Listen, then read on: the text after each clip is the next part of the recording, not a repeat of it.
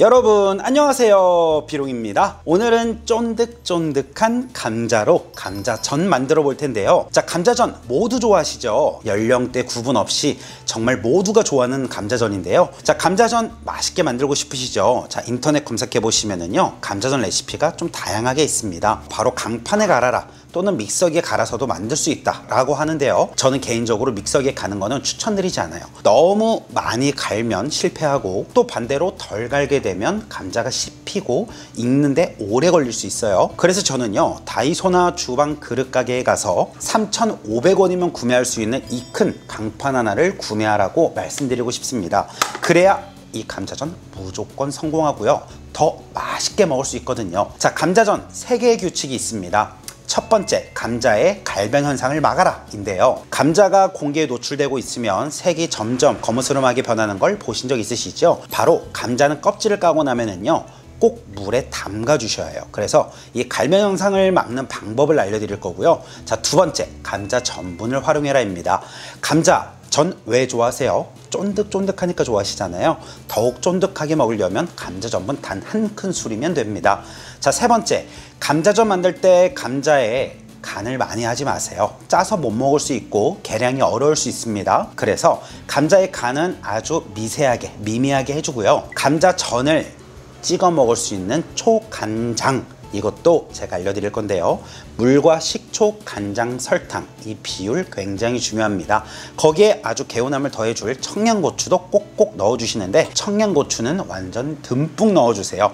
자, 감자전 벌써부터 궁금하시죠? 저도 침이 생기는데요. 감자전 맛있게 만들고 감자전 무조건 성공할 수 있는 레시피 지금부터 보여드리겠습니다. 넓은 볼에 물을 가득 받아주시고요. 사오신 감자 4알만 넣어주세요. 그리고 물에 넣어놓은 상태에서 감자 껍질을 제거해 주세요. 감자 껍질을 깎고 나서 이대로 공기에 노출하고 있으면 색이 점점 검맣게 변합니다. 바로 그것을 갈반 현상이라고 얘기하는데요. 물에 담가 놓으면 아무 걱정 없어요.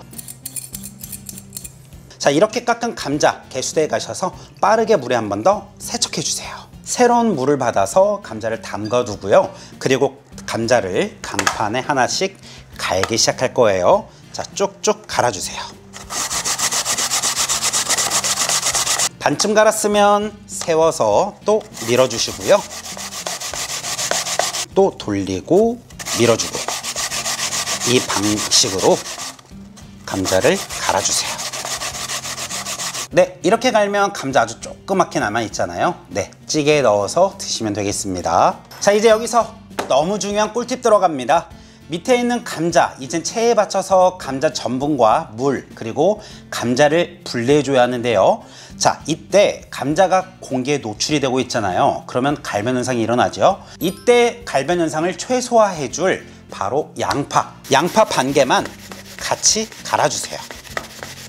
자 이제 볼에 채반 올려주시고요. 강판에 나온 감자 양파 물 전분 이제 모두 분리해 줄 거예요. 이대로 10분 정도 체에 받쳐서 전분물을 걸러주도록 하겠습니다. 시간이 지나면 전분은 밑으로 가라앉고 그 위에 물이 생길 거예요. 그럼 물만 제거하고 밑에 감자에서 나온 전분과 그리고 감자, 양파 이 건더기만 가지고 감자 전분을 맛있게 만드는 것입니다. 자 10분 기다리는 동안 할 게 무엇일까요? 바로 정말 맛있는 양념 초간장 알려드리도록 하겠습니다 청양고추 3개를 반으로 갈라서 준비해 주세요. 이때 청양고추 씨도 그대로 살려서 쫑쫑쫑 다져주세요.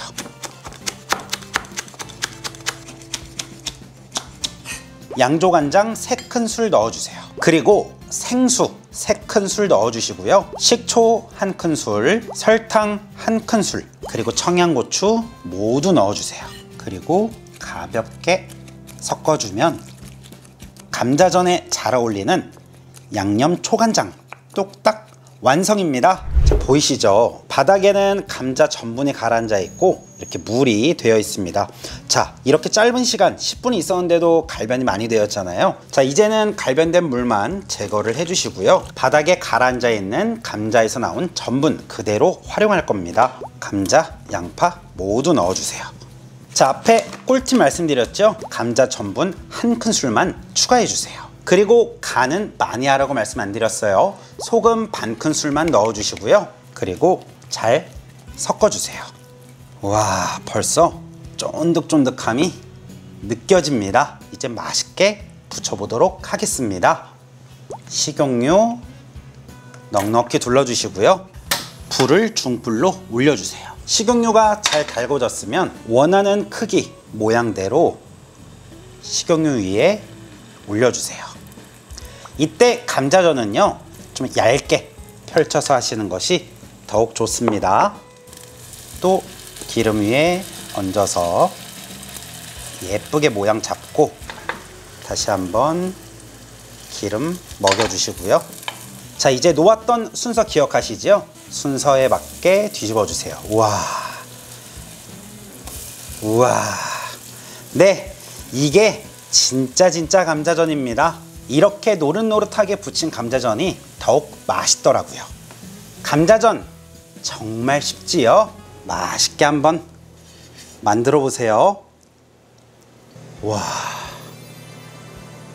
자, 뒷면도 우와. 쫀득함을 한번 보시면 우와. 진짜 Real 감자전입니다. 음. 이렇게 청양고추도 끼얹어서 드셔보세요.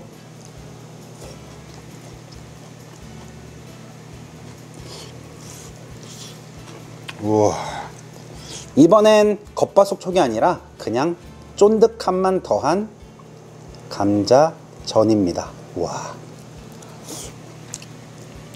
어, 살찌는 맛. 하지만 오늘만큼은 행복한 맛. 이렇게 푹 담가 먹어도 짜지 않습니다. 쫀득쫀득한 아, 이거를 조금 더 깊게 표현하기가 어렵네요. 야 이거는 붙였다가 아니라 이거는 찢었다. 네 이렇게 표현하겠습니다. 정말 맛있으니까 감자전 요리도 너무 쉽죠. 그리고 레시피 따라 만드시면 더 맛있게 만드실 수 있고요. 꼭꼭 성공하실 수 있습니다. 자 그럼 감자전 다시 한번 정리해 드리겠습니다. 갈변 현상을 막아라.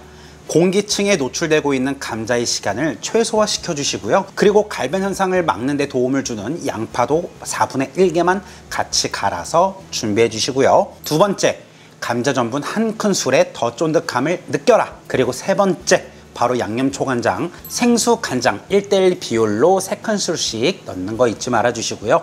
네, 그러면 감자전 맛있게 만들어 드시고요. 오늘 영상도 시청해 주셔서 감사합니다. 저는 지금까지 요리왕 비룡이었습니다. 안녕히 계세요. 비룡!